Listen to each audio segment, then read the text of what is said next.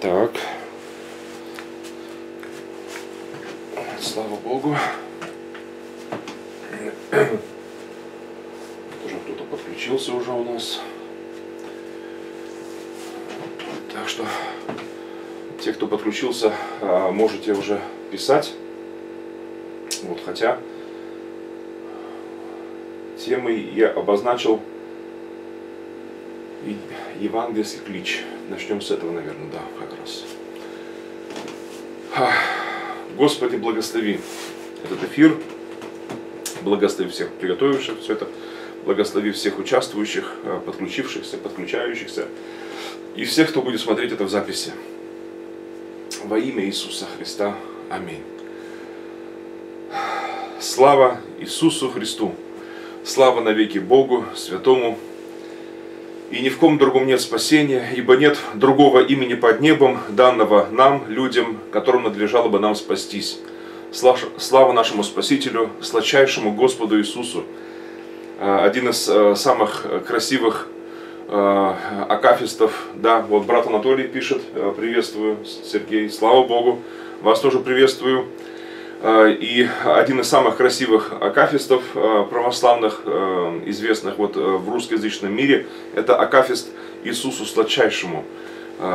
Православное песнопение, православный гимн любви к сладчайшему нашему Спасителю Иисусу Христу. Слава Богу. Вот, и, дамы и господа, братья и сестры, все, кто подключился, да, Иван Левко, слава Иисусу Христу, Навеки слава Богу Святому. Аминь, аминь, аминь. А, всех вас, всех вас приветствую. Рад а, значит, в сети а, видеть. И, дорогие друзья, благоставляю всех вас во имя Господне. Сегодня, сегодня суббота вечер. Сегодня 18 ноября 2017 год. Да. А по библейскому летоисчислению а, сегодня а, уже вот завершился а, месяц Хешван, 29 число. Но уже вечер, уже начало нового дня, уже первое число месяца Кислев. Так что новомесяче такое у нас. Новый месяц. Если, ну, у нас пасмурная погода в Киеве, не знаю, как у вас там, где вы сейчас находитесь, но у нас в Киеве сегодня очень пасмурная погода весь день. А, значит, днем, еще утром было больше, меньше, а вот весь день было пасмурно. И, но если у вас э, светло, э, ясно, ясно, вернее, ясно, то значит, вы можете выйти на улицу и увидеть, как зарождается маленький-маленький серп. Значит, он будет расти, в общем-то, месяц будет расти. Вот начало нового месяца. Сегодня первое число этого лунного календаря у, у, у нас снег выпал. Да вы что, слава богу. Да у нас, э, не, в Киеве снега нет. Вот, ну, хотя уже прохладно. Ну ничего, главное, чтобы э, в наших сердцах было не холодно, чтобы в наших сердцах было э, жарко, было полно любви, благодати Божьей, слава Богу. Вот, и, братья и сестры, дорогие мои, сегодняшний эфир, сегодня готовлюсь к собранию, да, готовлюсь к служению. Завтра утром у нас э, богослужение э, церковное. Вот я уже разговаривал с нашим благочинным, значит, он сегодня в смену, но завтра будет как раз сразу после смены рабочей будет на собрании. Вот, и со Львова завтра утром, рано-рано утром выезжает, ну ночью фактически этой, будет выезжать Кифа. Вот, если машина, то рано утром, а если поездом, то, наверное, уже прямо сейчас, вечером где-то. Вот, но утром э, он будет уже у нас э, в Киеве. Так что со Львова будут гости у нас. Вот, и он будет не один. Кем благочинный работает? Э, сторожем. Благочинно работает наш отец Алексей, работает сторожем сейчас. Он, он, на, он на пенсии уже у нас. Вот, он всю жизнь проработал строителем, прораб, хороший прораб много в Киеве что построил, а, значит, и руководил строительством здесь. Но сейчас он на пенсии, и вот а, ну, для пенсионеров а, значит, подработка в Киеве в основном у нас вот такая. Это вот где-то сторожем в охране работать. Да, слава Богу. Я завтра буду снимать на видео христиан заказ в православной церкви младенца. А, Кристины, а. Но ведь христиане должны в зрелом возрасте приходить к крещению. Да, слава Богу, об этом сегодня как раз поговорим, брат Анатолий, как раз об этом сегодня поговорим. Вот, а Иван Левко пишет, благословенна работа сторожем. Да, это точно. Знаете ли, э, и отец Алексей как раз он э, много свидетельствует, что говорит, это Бог дал э, такую мне работу, чтобы я мог от всякой суеты на целые сутки, допустим, уходить. И там, в общем-то, работа такая сторожа, знаете ли, много свободного времени. Вот я, говорит, слушаю проповеди, слушаю Евангелие, накачаю себе разных проповедей, значит, разных проповедников. Он очень много любит сейчас слушать этого Э, Джозефа Принца э, с э, Сингапура, церковь. Слава Богу, я тоже послушал, замечательный проповедник, вот всем тоже рекомендую. И вот отец Алексей наш просто расцвел вообще, вот именно вот в этой, в этой благодати купаясь все. Слава Богу. Вот, и по поводу крещения как раз сегодня буду говорить. Да, так, так получилось как раз. Именно по поводу крещения. А, да, я тоже сторожем работал, тоже. Так что на подработках таких время от времени тоже, значит, и э, я даже один раз, ну, сторожем работал это, э, дом молитвенный охранял у писятников. Православный батюшка охраняет дом молитвенный писятников. Это такой как бы как, как анекдот какой-то. Но ну, на самом деле вот так вот. А, ну что, слава богу, братья не бежали, значит, э, платили э, вовремя, значит, без задержек. И вот благоставляли, так помогали мне. Слава богу. Вот так. Так что самое-то главное, что а, чем бы мы ни занимались, как, как бы мы ни работали, где бы мы ни работали, самое главное, чтобы действительно в нашем сердце была любовь, э, мир, это, это радость Господня, слава Богу. Вот, и, братья и сестры, вот, дамы и господа, э, обращаюсь ко всем, кто подключился сейчас, и также э, к тем, кто будет смотреть это уже в записи позже. Сегодняшний вечер, этот прямой эфир я посвятил теме, я обозначил так, евангельский клич и молитва за единство Церкви Христовой. Евангельский клич и молитва за единство Церкви Христовой. Да, да, охрана, да, точно, до молитвенных писятников, да, слава Богу. Хорошая была охрана, но Бог, Бог охранял, Господь охранял э, писятников там, да. В общем-то, да, есть что вспомнить. Да, и самое главное, что когда Бог охраняет, э, то это самая-самая хорошая охрана.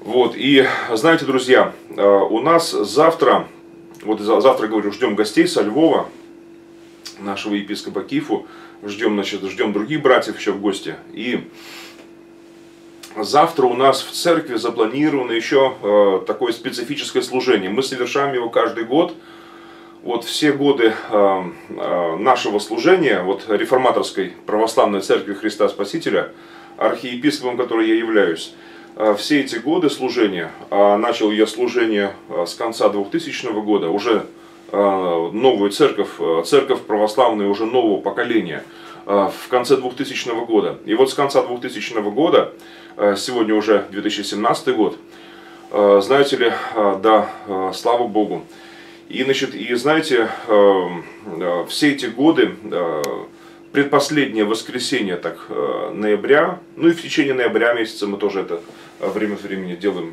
на, на других собраниях, но предпоследнее воскресенье ноября у нас избирательно вот так эм, проходит специальное служение такое, молитва за единство Церкви Христовой молитва за единство э, христиан. Вот. И почему э, эта молитва совершается? Вот я сейчас поясню. Дело в том, что 95 э, лет тому назад, вот на этой неделе исполняется вот 22 ноября такой юбилей, 95-летие. 95 лет тому назад, в 22 году, произошло очень интересное событие, очень важное, на мой взгляд, событие. даже скажу так, историческое событие. Впервые молились за единство верующие православные, ну это чаще всего были обновленцы, обновленческие священнослужители и евангельские христиане, Всероссийский союз евангельских христиан под руководством Ивана Степановича Проханова. Иван Степанович Проханов пишет об этом в своей книге «В котле России». И также об этом пишет Марцинковский в своей книге «Записки верующего». И в некоторых других тоже э, исторических таких э, материалах сохранились, э, пусть не многие, но скупые очень данные, но о тех событиях, слава Богу. Другие конфессии приглашали на такую важную молитву. Да, приглашали, значит, и, в общем-то, я и рассылку делал, значит, и везде оповещал, значит, и да и я скажу так, что здесь в Киеве, слава Богу, но большинство христианских церквей, они открыты вот к подобным таким встречам. Знаете, эм, э, но только одно но. Э, это у нас проходит воскресенье, а в воскресенье э, у всех свои церковные собрания, церковное служение.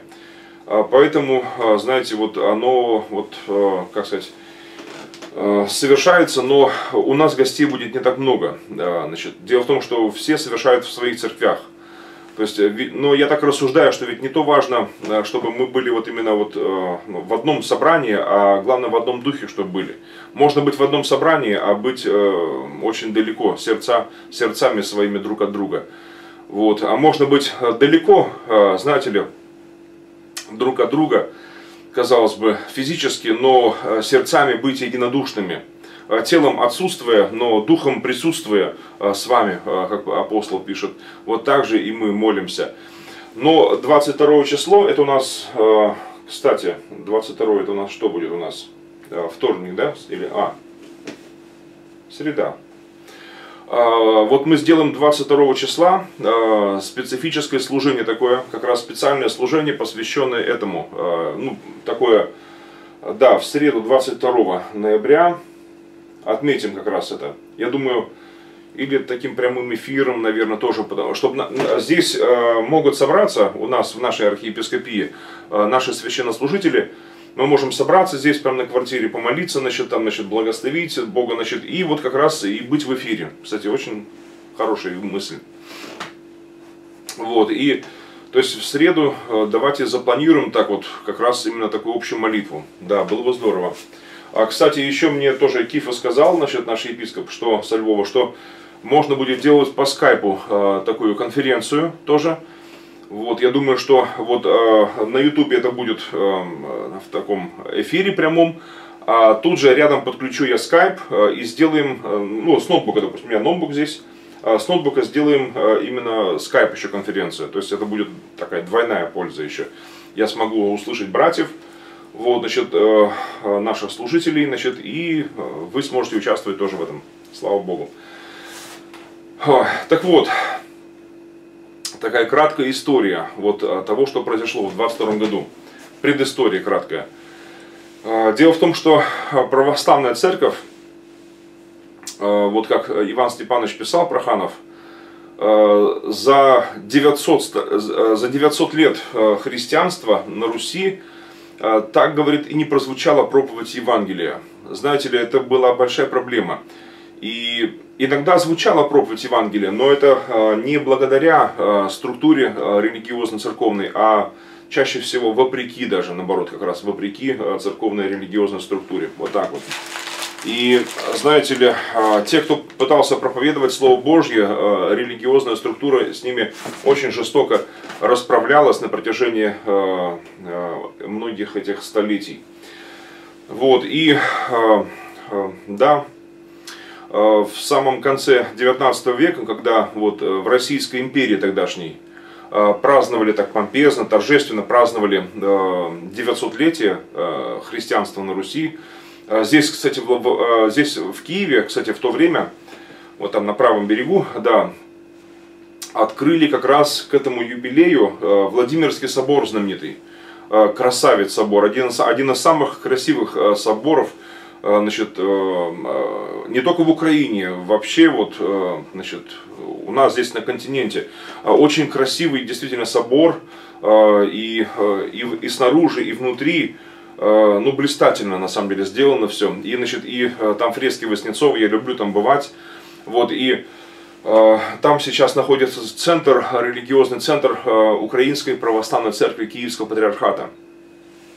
Вот, э, здесь вот метро университет, я туда часто езжу, значит, и бываю там на служении, и, да и бывает там какую-то литературу прикупаю. Кстати, вот здесь вот есть у меня и служебник, и требник есть. Значит, кстати, вот служебник, это же служебник как раз Киевского Патриархата, да. Угу. Да. Служебник, сейчас. У меня, у меня несколько таких изданий. Рідкісні чинопослідування. Угу. Да.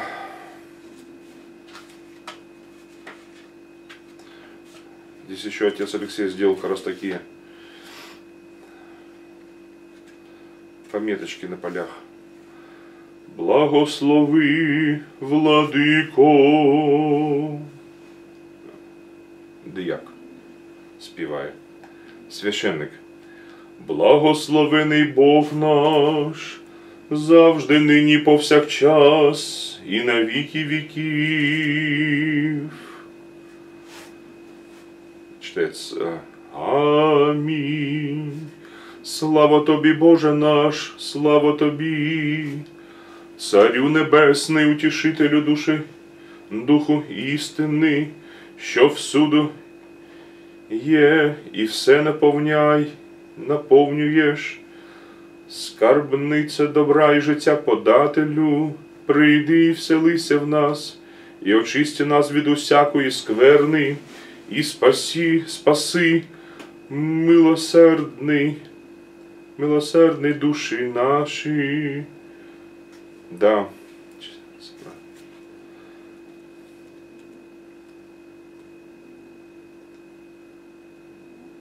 Да. И вот, э, когда собор тот открывали, как раз э, в честь 900-летия христианства на Руси, то, э, знаете, э, э великий русский писатель а, Николай Лесков тогда как раз работал в Киеве, и он а, записал, он работал а, в архивах монастырских, летописи пересматривал, значит, и как раз изучал тему истории крещения Руси, и он вынужден был тогда констатировать факт. Записал так он, такими словами, свои размышления, что Русь, говорит, была, говорит, крещена но не просвещена.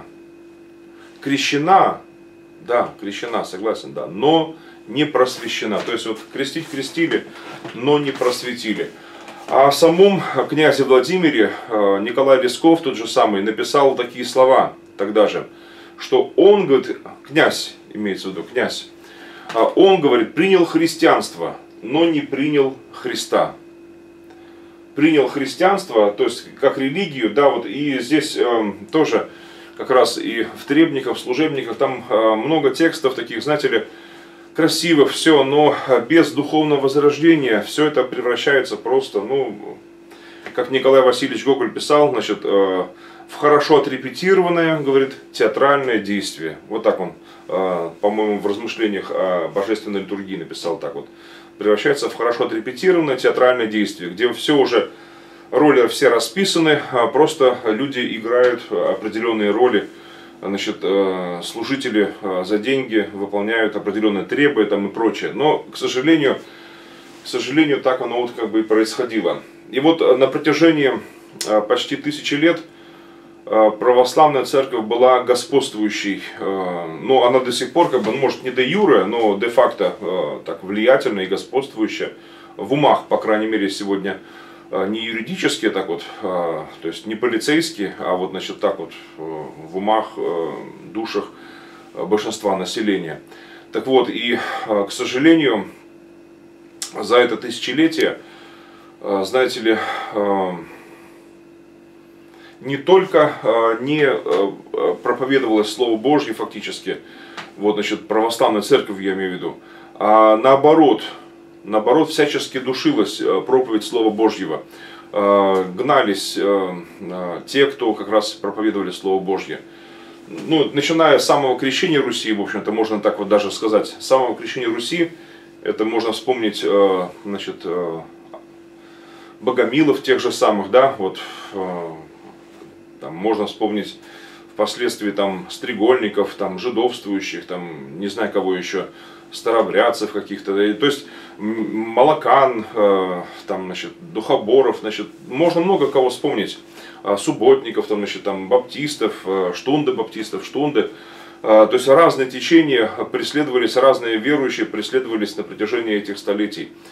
Вот, и люди отдавали свою жизнь, платили очень страшную цену, отдавали свою жизнь за право читать Библию, за право верить так, как сказано в Писании, за право молиться только лишь к Богу, без иных посредников, за право молиться своими словами, за право Э, действительно э, э, иметь и ум, и честь, и совесть свои, а, за право персональное, осознание персональной ответственности перед Богом, значит, за эти вот такие свободы, за такие вот, будем так говорить, христиане, действительно платили цену. Да, тысячи и тысячи людей погибали в застенках православной инквизиции, горели на кострах и погибали под значит, пытками палачей вот, и э, официально э, последний э, замученный э, за веру э, значит, э, православными монахами был э, убит в конце 19 столетия. Представляете? Вот, э, тогда, когда в Европе уже об инквизиции забыли, и только лишь из э, учебников э, по истории уже вспоминали, э, у нас еще э, были пытки, дыбы и э, были смертельные случаи, до смерти замучивали. Это было в Суздале, по крайней мере, последний раз. Вот, и то э, показательно, что монахи, э, участвующие в этих пытках и замучившие старобрядца, старовера, э, за его веру, значит, за его религиозные убеждения, не были наказаны, значит, никто из них не сел в тюрьму, не попал во строк, то есть царское самодержавие покрывало все эти беззакония. Хотя было предписание, чтобы пытали не до смерти в следующий раз. Вот так вот. Но а, сто лет назад а, это безумие закончилось. А, в 1917 году, в начале 17 года, царское самодержавие пало, и эта система, безумная система, она просто-напросто рухнула. Прогнившая насквозь уже система православного царизма, царского самодержавия православного рухнула. Слава Богу, что это совершилось тогда, значит, и церковь и православная, и все другие христианские течения вот, в бывшей Российской империи получили тогда свободу, э, получили возможность э, совершать служение, верить так, как действительно они то избирают сами люди, а не так, как начальники велят. Значит, и когда Керенский подписал документ, значит, и Временное правительство огласило закон о свободе совести, Э, тысячи узников совести были отпущены на свободу, э, десятки тысяч, тысячи проповедников, э, баптисты, штунды баптиста, молокане, духоборы, значит, старобрядцы, там много-много очень разных христиан было отпущено на свободу. Тысячи и тысячи томились в вузах, значит, начиная с Петропавловской крепости, по монастырям и по Острогам, и по Сибири, матушке.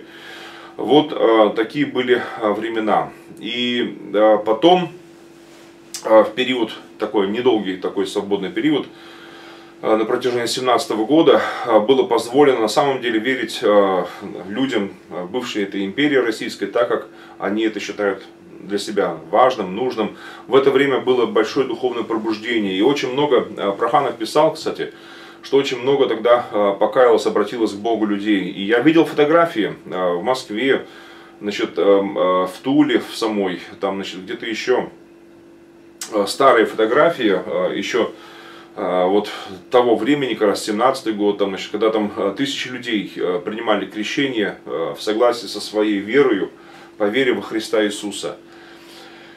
Вот так, да, и, и вот, потом, конечно, в конце 17 года был большевистский переворот, который впоследствии, уже в 30-е годы, был назван революцией Октябрьской. И пришли к власти коммунисты. Это уже отдельная история, я об этом говорил в прямых эфирах предыдущих, как раз именно вот конца октября и начала ноября, непосредственно как раз вот красный день календаря, или кровавый день, я, по-моему, называл так, день календаря. Вот в тех эфирах я это говорил. Посмотрите записи, если кто не смотрел. И вот, значит, и э, события 22 года. Представляете, значит, э, очень интересное событие. Э, Проханов Иван Степанович и Всероссийский союз евангельских христиан, сокращенно всех, аббревиатура так, всех, Всероссийский союз евангельских христиан, вот, написали письмо в 22 году.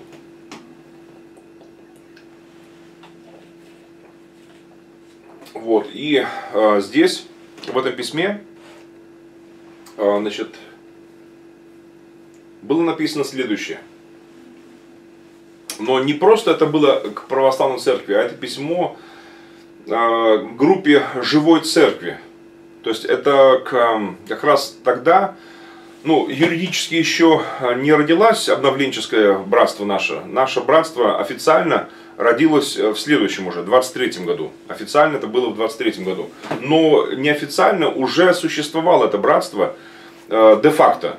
Де юре родилось э, наше движение, вот православное реформаторское, такое обновленческое движение э, в 23 году. А уже формировалось оно тогда в 22 и даже раньше, даже раньше году. Э, в 17, 18, 19 годах э, в Петрограде, значит, в Москве формировалось это братство. Родилось оно в Москве в 23 году в храме Христа Спасителя э, на соборе, втором поместном соборе всероссийском. Да, ну а возрождение свое наше братство получило уже в Киеве в конце 2000 года, начало 2001 года. Вот, вот наша церковь как раз продолжает деяние обновленца тогда, 20-х годов.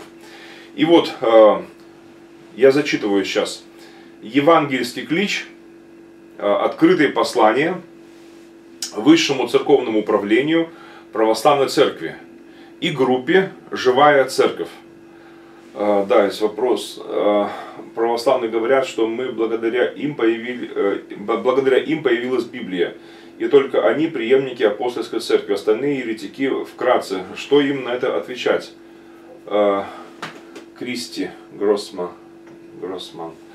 Да, а, я многократно подобное а, слышу заявление. И сам я раньше нечто подобное говорил, конечно же, да, потому что, ну как, так был, тоже был научен в свое время, потому что я был традиционным православным священником, поэтому тоже был научен э, подобной же ереси. Вот, но во-первых, сразу э, вот таких вот э, словоблудов останавливайте вот такими словами, что в православной церкви, тогда, когда Библия значит, была писана, ее не было еще. Во-вторых, когда вот канон Библии, он официально декларировался на соборах православной церкви, в то время официально не было вообще. Вот, сам термин православие, ортодоксия впервые в конце IV столетия был провозглашен императором Феодосием Великим. Кстати, им же было слово инквизиция впервые тоже было провозглашено официально. Да, интересное совпадение такое. Вот, значит, и больше того скажу, православная церковь в таком виде, в котором она существует вот сегодня, значит, появилась гораздо позже, гораздо позже. Вот, значит, и, ну, скажу так, де-факто это конец, не конец, а середина 9 столетия.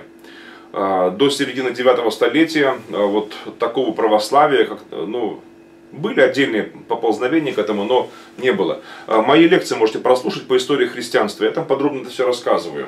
Вот, значит, то есть, да и еще, второе, второй аргумент. Канон Библии, он не формировался церковью, дамы и господа. Он уже констатировался церковью. Вот, э, да, значит, отцы церкви на соборах в четвертом столетии, начало четвертого столетия, да, они действительно э, говорили э, о э, книгах канонических, книгах, которые мы признаем христиане. Они писали, что мы, мы признаем. То есть, действительно, весь христианский мир признавал эти книги. А, значит, были всевозможные апокрифические, подложные, но это в основном лишь в отдельных общинах, у отдельных христиан были на руках, вот как бы, значит, и, или пользовались авторитетом а, в отдельных лишь общинах. А общехристианские, они были неизвестны, ну, и известно было лишь одно, что они появились гораздо позже, вот так вот, не от апостольских времен. А то, что от апостольских времен сам Бог, одним словом, не, не православная церковь, и не католическая, никакая другая, не протестантская, не могла формировать канон Библии. И, знаете ли, э, потому что если, если мы создали Библию, то тогда мы можем ею, ею и пренебрегать. Вот так вот мыслят сегодняшние многие православные священнослужители традиционные, к сожалению. Знаете ли, но я поставлю вопрос так. А если это Божья книга, если это Божье Слово, если не мы создали Библию, а Бог создал Библию, тогда уже, извините, подвиньтесь. Тогда нужно уже слушаться того, что Бог сказал. Вот здесь вопрос очень важный, что первично, курица или яйцо, да? Значит, да.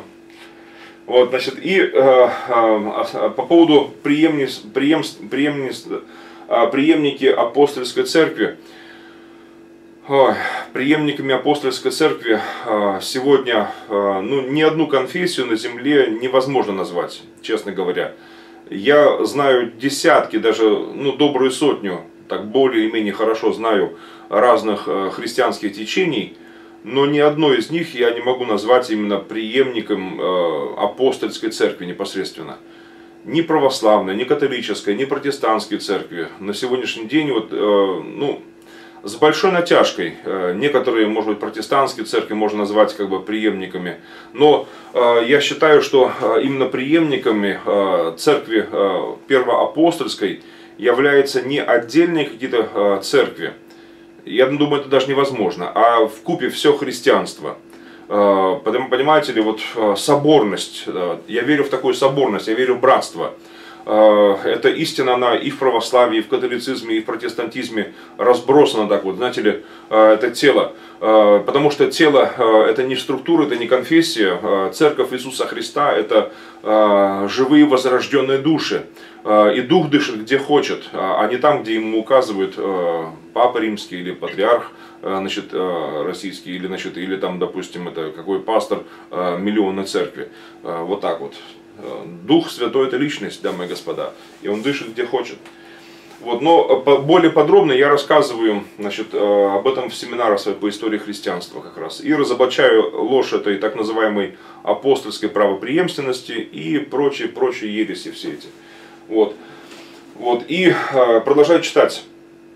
Значит, письмо 22 года послание Высшему церковному управлению православной церкви и группе живой церкви, а от свободной евангельской народной церкви Всероссийского союза евангельских христиан. 22 год. А, и вот начало самого письма этого. «Мир вам от Господа нашего Иисуса Христа». Приветствуя зародившееся в православной церкви движение, а, а, принявшее название «Живой церкви», ну, на самом деле, «Живая церковь» это было одно из таких самых популярных в то время названий – свободная народная евангельская церковь, э, Всероссийский союз евангельских христиан, имеет к тому особое основание. Э, в 1911 году председатель, то есть вспоминаются события, которые были 11 лет назад, до того, председатель Всероссийского союза евангельских христиан Проханов обратился к тогда существовавшему синоду с просьбой расширить распространение Евангелия в народе – путем усиления печатания Библии, Новых Заветов и тому подобное. А, в частности, путем напечатания портативной Библии карманного формата. Синод, совершенно не заботившийся о духовном просвещении народа, а, в этом отказал и поручил архиепископу Антонию Волынскому вступить в переписку с Всероссийским союзом евангельских христиан. В ответ на последующее, последовавшее со стороны архиепископа Антония писание – последовало исчерпывающее послание Всероссийского союза евангельских христиан всех. В этом послании указывалось на бедственное духовное состояние русского народа. В то же самое время Синод и все духовенство приглашалось покаяться в вековом грехе, э, а жить и начать действовать соответствующую, и начать деятельность, э, соответствующую возложенной на них ответственности. Вместе с тем э, предсказывалась судьба руководителей православной церкви в случае, если они откликнутся, не откликнутся, вернее, на призыв Божий. Если посмотреть внимательно, говорилось в послании, суд Божий грядет. Этот суд пришел на наших глазах и оказался очень тяжелым для руководителей церкви. Там же говорилось, что возможны такие случаи, что церковь может носить имя, будто жива, а на самом деле мертва. Из книги Откровения, цитата там. Что она может быть несчастна, жалка, слепа и нага что светильник э, может быть сдвинут и тому подобное. Тоже из книги Откровений цитаты. Таким образом, несмотря на вековые гонения со стороны православной церкви, свободная народная евангельская церковь следует примеру Спасителя и, покрывая все любовью всепрощения, призывала гнавшую ее старую государственную церковь к обновлению, оживлению и очищению. Э, этот, э, это был пророческий голос, внушенный самим Богом. Но, увы, она тогда э, она не увидела дня посещения его и не услышала голоса его. Но голос Евангельской церкви и теперь не замолк. С чувством искреннего доброжелательства и мира он звучит по адресу вновь образуемой церкви. Из вышеизложенного ясно, что, мы, что ничто не может так радовать евангельскую церковь, как тот факт, что мертвая православная церковь делается живой, и попытка в этом направлении для нее весьма ценна. А, наблюдая, однако, вот э, дальше, дальше само послание. Я не буду все письмо писать, оно, э, э, зачитывать, оно очень пространное, но вы уже услышали, наверное, да, вот эту, эту нотку действительно вот христовой христианской любви, значит, и что братья тогда под председательством Проханова, они как раз из писаний, из священных писаний Э, убеждали э, лидеров э, православия тогда, тогдашнего, 22 года, начать реформацию, начать обновление. Значит, и, знаете, интересно, я только скажу, не знаю, наверное, в конце,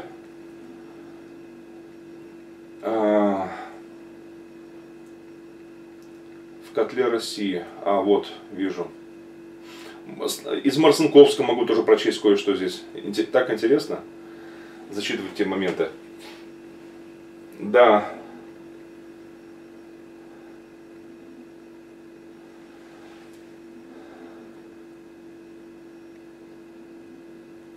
Да.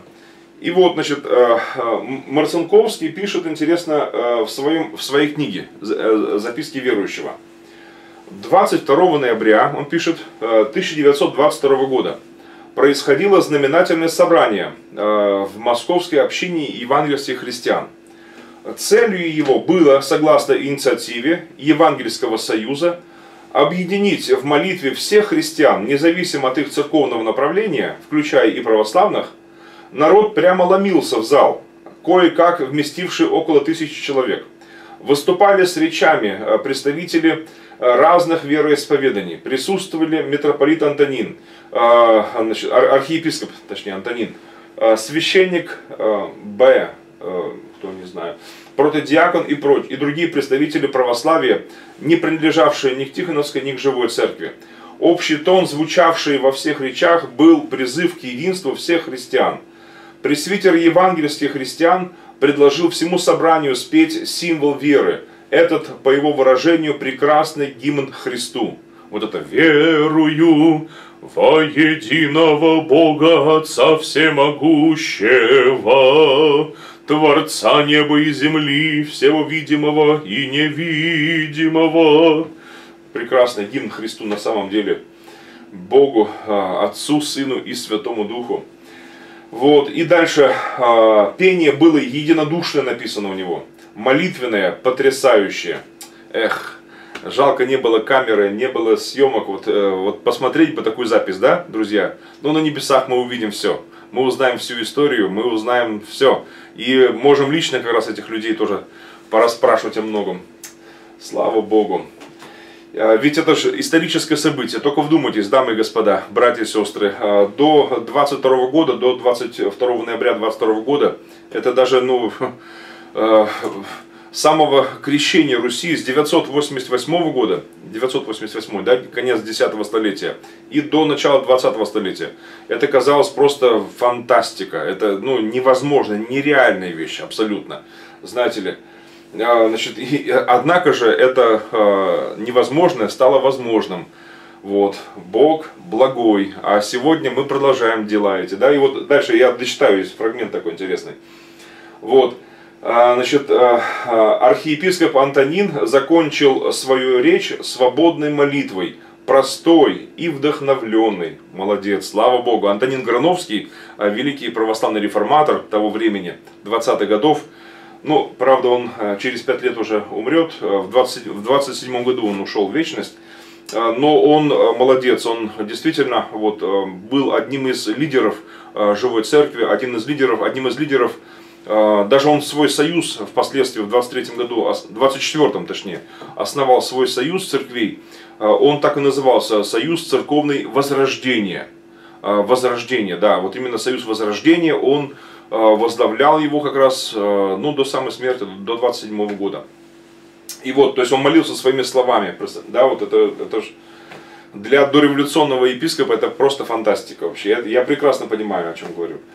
А, так, и мне было поручено, пишет Марцинковский уже, да, потом, говорить дважды, в середине и в конце собрания я не мог назвать какой-либо общины, представителем которой я являюсь. И я начал так. Ну, он на самом деле, Марцинковский в то время, в 22 году, был на перепутье. Он, с одной стороны, православный христианин, но с другой стороны, он и евангельский уже христианин. И, кстати, Марцинковского потом его арестовывали. Значит, э, я тогда расскажу ту историю. Его арестовывали, э, ЧК его арестовала, э, НКВД. И, значит, и его держали в одной камере с митрополитами, епископами православными. А он как раз, ну, скажу так, он официально не выходил из православия, но по сути он уже был не православным человеком. Э, ну, не традиционным православным. Вот как я, допустим, да, вот я православный, но я не традиционный православный, я уже реформатор. И он был, Марцинковский был уже реформатором таким. И знаете ли, Марцинковский, он вопрос о педобаптизме тогда поднимал, ребром вопрос ставил. А, вопрос о педобаптизме, то есть это а, крещение младенца. Вот как раз как брат вот а, вопрос такой задал в самом начале там.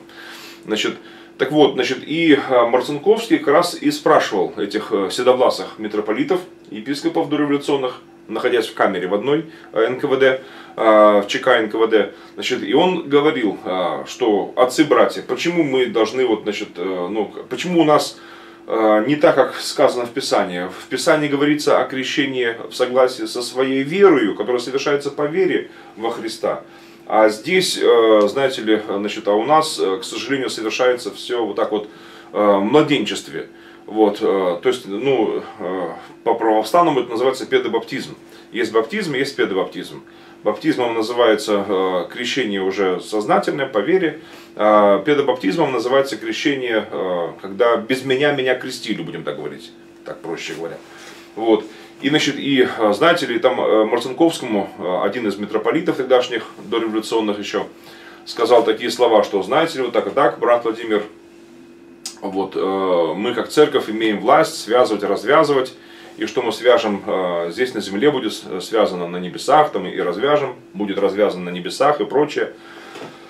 Вот, и вот мы якобы пользуясь этим правом, мы изменили порядок. Да, в Библии говорится, что кто будет веровать и креститься, спасен будет, а теперь по-другому, потому что мы постановили.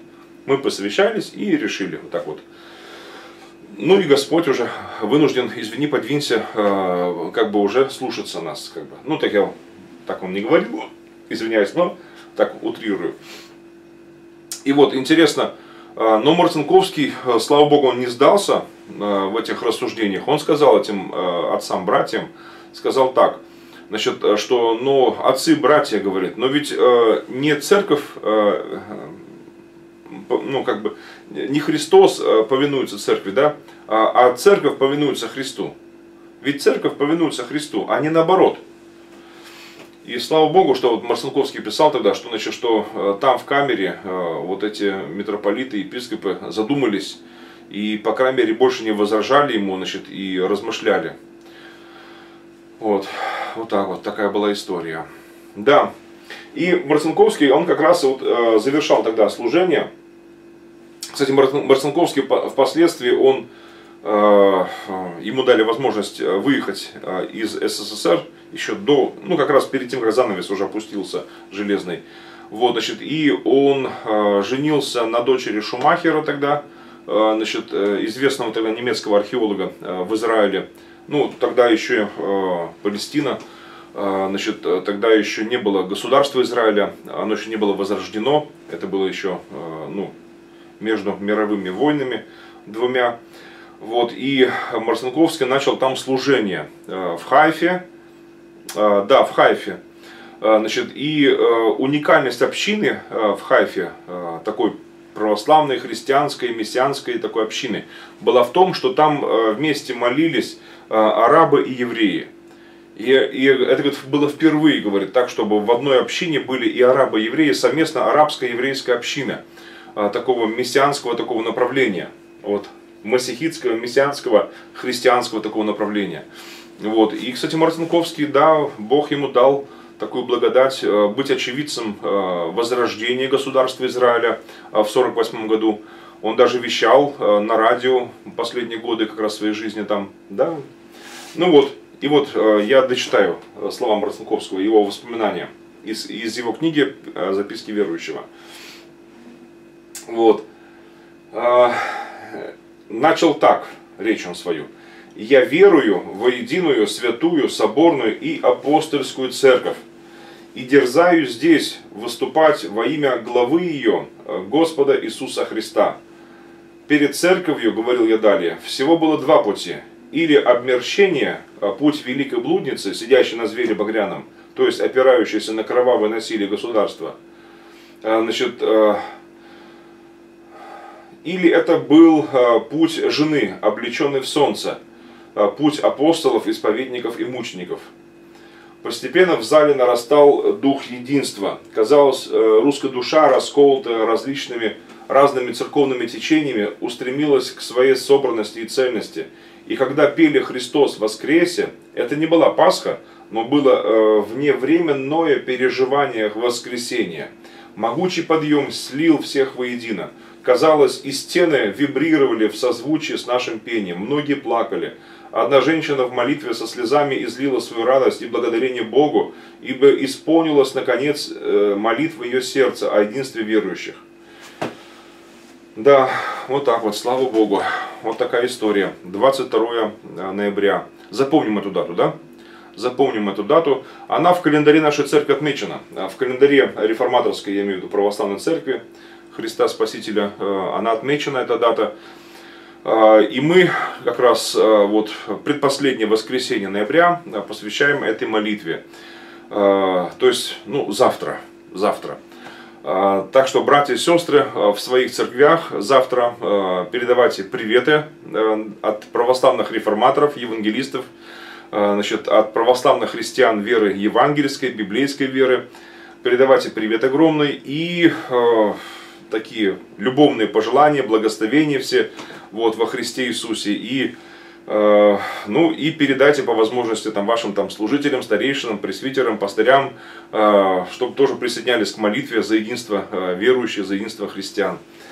Вот, ну, а наше служение будет завтра здесь, в Киеве, на Кловской, возле станции метро Кловская, улица Леонида Первомайского, 6. Это предприятие общества слепых, УТОС, арендуемое нами помещение. По воскресеньям аренда наша с 9 до 12 часов. Всех вас жду. Почему в традиционном православии не происходит реформации? Она происходит, брат, она происходит но происходит э, эволюционно. Э, знаете ли, есть революционная реформация, есть эволюционная реформация. И эволюционно она происходит, но не так быстро, как хотелось бы, конечно. Э, отец Александр Мень, он был сторонником более такой эволюционной реформации. Я лично сторонник революционной реформации, хотя я не отрицаю, что некоторые вещи, они требуют именно эволюционного подхода, постепенного, поэтапного. А, но, не, но а, многие вещи требуют, на мой взгляд, именно революционного а, решения, основ, важного, такого быстрого решения. Допустим, кому молиться? Здесь нельзя постепенно, вот, хотя какое-то время можно, ну, наверное, разъяснять требуется, там, убеждать людей, безусловно, конечно. Но эту вещь для себя вероучительно нужно решить священникам, в первую очередь православным, сто процентов, как ну, как вот говорят, как отче наш, знаете, чтобы это было, чтобы это было вот прописной истиной. Кому молиться? Матренушкам, Иванушкам, э, Богородицам, э, кому молиться?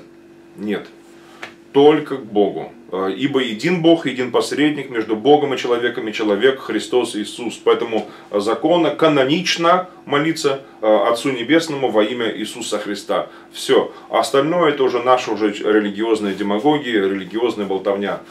Знаете ли, словоблудие всевозможное. Вот то же самое вопросы идолопоклонства. Образа хотите иметь? Нет проблем. Пожалуйста, можете иметь разные образа, но, пожалуйста, друзья, побойтесь Бога, не почитайте их. Почтение и служение только лишь Господу. Все. Это должно быть прописной истиной. Знаете ли, это нужно просто, ну, как бы на ус намотать, это нужно действительно просто прояснить для себя. Никакого многобожия, никакого идолопоклонства, это однозначно. Вот остальные вопросы уже будем решать уже по ходу уже. Вот. Значит, э, э, эволюционно. Но эти вещи требуются, именно революционное вмешательство требуется. Вот так вот. Революционная реформация. А есть эволюционная реформация. Эволюционная реформация, она неизбежна сейчас. Век информатики. Э, большинство священников, молодых особенно, сидит в интернете, слушает проповеди. Не так давно я познакомился с одним священником, допустим, вот здесь Московского патриархата в России, в Украине, извиняюсь. Э, он к российскому патриархату, то есть он служит э, в Украине.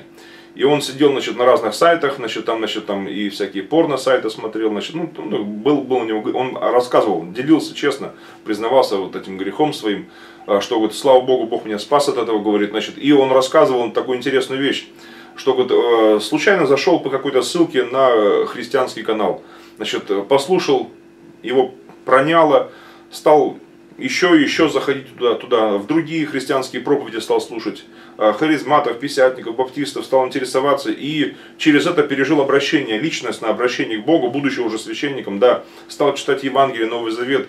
И сейчас, ну, э, он так не вышел из своей структуры, э, вот, э, по-прежнему там служит, но он уже эволюционно, уже действительно реформирован.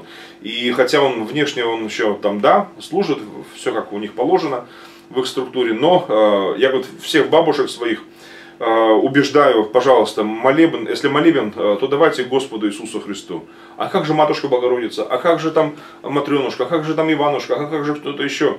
И он их, я вот убеждаю своих бабушек, прихожанок, ни в ком другом нет спасения, ибо нет другого имени под небом. Разъясняем, показывай на Иисуса Христа, вот, э, фильм показывай, прочее. А, э, православные священники молятся на иных языках. Нет, нет, э, это очень большая редкость. Э, очень большая редкость. Вот у нас, по крайней мере, это чрезвычайная редкость. В США православные довольно уже многие молятся на языках. Есть даже такие течения, как такие юрисдикции, которые так и называются Charismatic Orthodox Church. Charismatic Orthodox Church. Э, это православные, в основном греческого происхождения американцы. Вот, я бывал в этих церквях, бываю, значит, проповедую.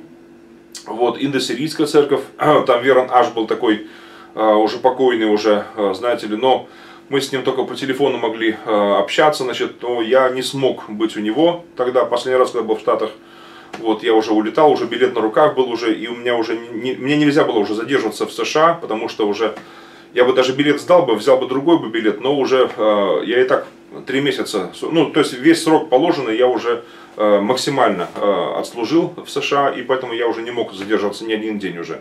Иначе я бы нарушил законодательство американское.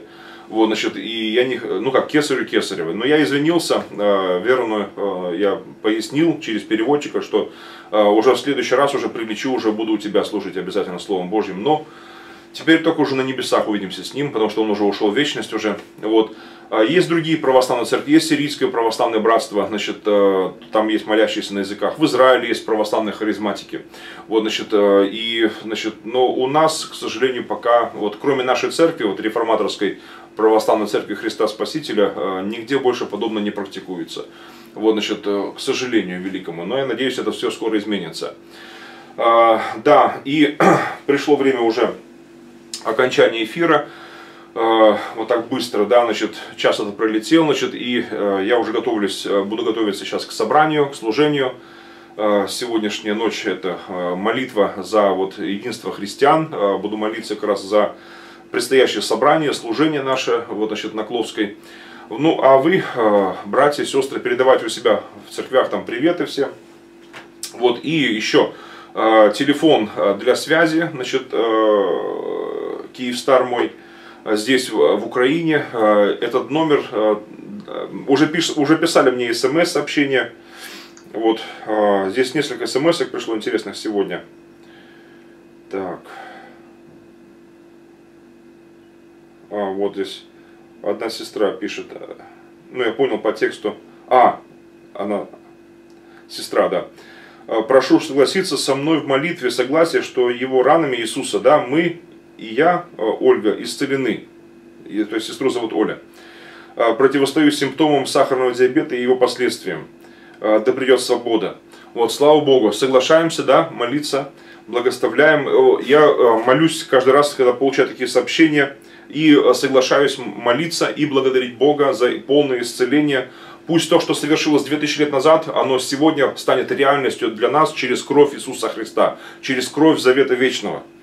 А дальше эта сестра написала э, для меня уже, вашему зятю, ну вот я молюсь и тоже к этому призываю тоже братьев, вот я высказал свои нужды молитвенные о зяте, Э, моем э, Михаиле, э, вот, который на сегодняшний день пока, к сожалению, отступил от Бога, знаете, но верю, Бог силен восстановить отпадшего. Вот, значит, и, и у меня муж, она пишет, получил свободу от алкоголя, 12 лет молилась. Но в вашем случае будет все быстрее во имя Иисуса. Шалом вам во всех сферах жизни. Аминь. Аллилуйя. Слава Богу. Да, и телефон для сообщений таких, э, значит, молитвенных, э, значит, э, даже если на собрании, значит, ну я телефон выключаю, правда, или же беззвучно делаю режим, но на собрании прочитываем, молимся тоже и будем молиться за вас тоже. Вот, значит, 096 96 2 66 75. Еще раз. 096 код и сам номер 96 2 66 75. Если из-за границы, если вы из-за пределов Украины, то не забудьте, когда смс набираете, то э, вначале плюс 38, код Украины набрать. Потом 096 96 2 66 75. Вот, э, это номер. Значит, и этот же номер э, использую как э, карточку банковскую можно использовать, да. Значит, э, слава богу за вот услугу такую Киевстар. Значит, э, э, с, любой, с любого населенного пункта Украины или через интернет можете пополнить этот счет, значит, э, в гривнах. А, значит, э, и э, на этот же счет э, гривны, и я могу через новую почту их получать, значит, налично получал э, в прошлые дни 50 э, гривен, 100 гривен, 200 гривен даже было. То есть вот э, люди жертвуют на дело служения Господу. Пусть Бог благословит всех вас во имя Господа Иисуса Христа. Да, напоминаю еще раз номер 096 96 2 66 75. Вот так вот, до встречи, до связи. Вот, и, и еще, друзья, слава Богу за всех вас, дорогие друзья, преломляйте хлеб. Э, но я не знаю, конечно, если в ваших церквях есть другие учения, то, конечно, ну, вам надо следовать э, тому, чему вам там говорят. То есть э, в собрании вы как бы делаете то, что там уже заведено уже. Но в частном порядке действительно мы преломляем хлеб часто. Стараемся ежедневно преломлять хлеб. Да и вообще даже когда все, что ты кушаешь, благодаришь Бога за все, я воспринимаю это как тоже некое причастие. А, но когда беру а, хлеб, вино, хлебопреломление совершаю. Вот здесь у меня сок виноградный из э, Израиля. В синагоге, в Киеве, в синагоге продается. В синагоге там есть крамница, и там можно купить. И вот беру хлеб, беру плод виноградной лозы, значит, и благодарю Бога Всемогущего за тело и кровь Его святые. Благодарю за э, таинство это. Я принимаю тело, принимаю, и кровь Спасителя моего Иисуса Христа, которая есть истинная пища, э, есть истинная пища, настоящая пища, и истинно есть питье наше. А, это, конечно, есть разное воззрение, разное понимание того, Господи, но я благодарю Тебя, что я просто даже не понимаю умом до конца этого таинства, этой тайны, я принимаю действительно Твое тело и действительно Твою кровь. Потому что я плоть от плоти Твоей, кровь от кости Твоей, кровь от крови Твоей. Боже,